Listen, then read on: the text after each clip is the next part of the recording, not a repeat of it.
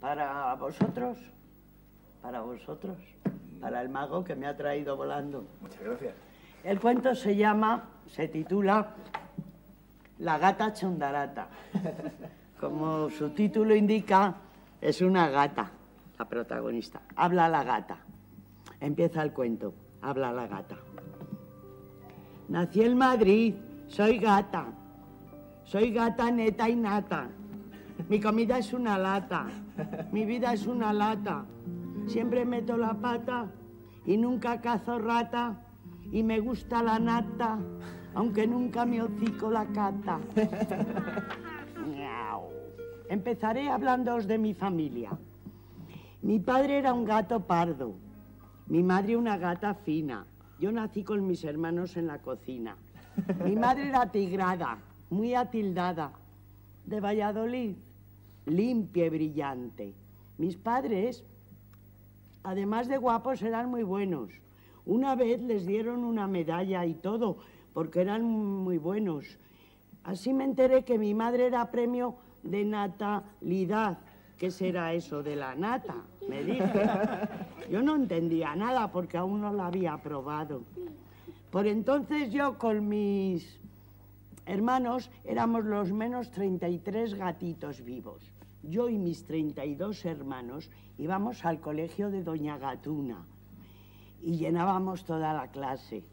El colegio estaba en el hoyo de un terraplén, de un solar, rodeado de casas muy altas y de un árbol pachucho que ni tenía hojas, ni pájaros, ni nada.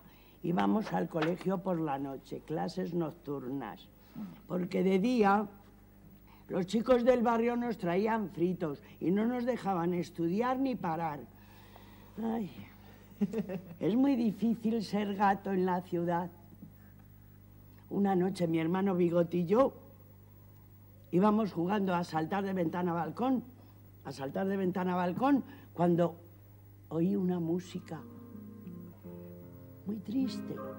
Miré desde el cristal y vi una sombra larga que tenía hipo. Mira, bigote, ahí vive un niño gigante.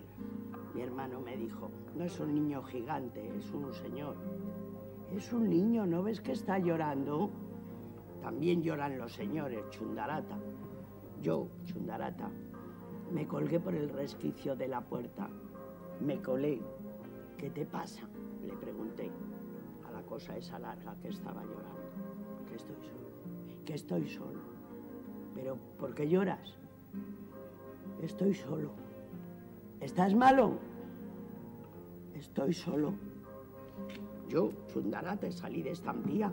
Quiero decir, corriendo, más bien volando, maullando, gritando. Bigote, sígueme, tengo una idea. Y... Ay, que se me pasa la hoja. Al poco rato, la terraza del señor Triste se llenó de gatos. 33 gatos. Más porque también vinieron los padres Maga, Mamagata y Papagato y la abuela Albina, que aunque no estaba para muchos trotes, no quiso dejar de ir. Más los gatos recién nacidos que llevaron como pudieron las hermanas casadas, sobrinos recientes del servidor, Chundarata. Pero empezó el orfeón gatuno. Miau, miau, miau. No se me hallará hoy. Los gatos rompieron a maullar muy bajito canciones folclóricas tales como Sal al balcón, sal al balcón, mi querida mariposa.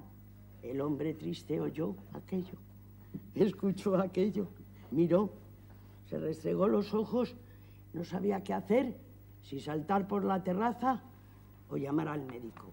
Mis amigos los gatos seguían cantando, seguía el orfeón gatuno. Y el hombre triste, oye, desesperado o tembloroso, yo que sé cómo estaba. Abrió el balcón y se le llenó toda la casa de gatos. Yo, Chundarata, Bigote, mi hermano, saltamos a hacerle cosquillas en el cogote.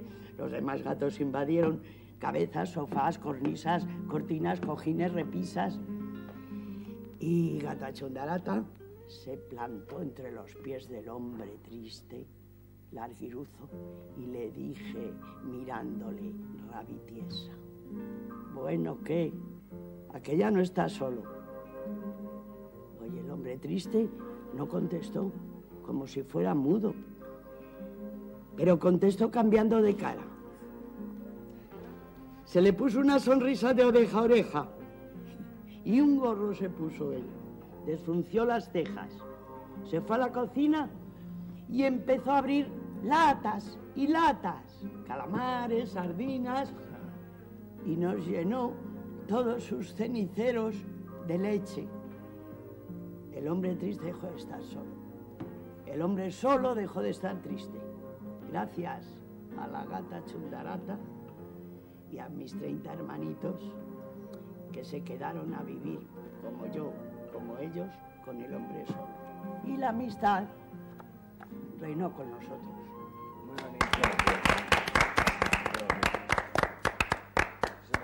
¿no? Sí. A ver. ¿Se merece un beso? Venga. Ay, pero no es... Ya veis, la casa se le llenó de gatos. ¿Por qué no das un beso a todos los niños? Un beso a todos los niños. Bueno, otro día vengo con el gato chundarato. Gracias.